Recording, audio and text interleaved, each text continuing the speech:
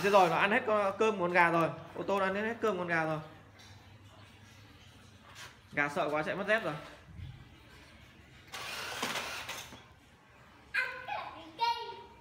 Ừ. Ây da ô tô địa hình này hư quá. Đâm cả người quay phim.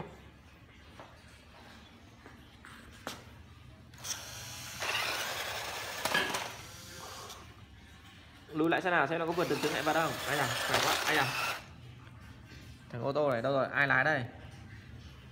Thằng Vy Ngô lái à? Ui rồi